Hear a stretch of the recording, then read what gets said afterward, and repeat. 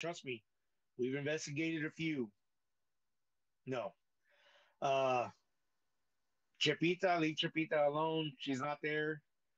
Go appreciate her shrine. Look at the tree that's formed into a cross magically, which uh like I said, I'm not a big believer in religion, but uh it's kind of odd that Chipita spot where she was, you know, hung. The original tree was struck by lightning and died.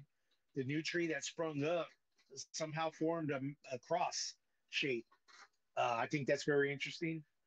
Uh, I don't know if Chipita was religious or not, but hey, you know, but like I said, appreciate the spots that you go and investigate. Leave it the way, or if not better, than the way it, you know you it was when you arrived, and uh, appreciate it, respect it, and that's all. And don't go on private right. property.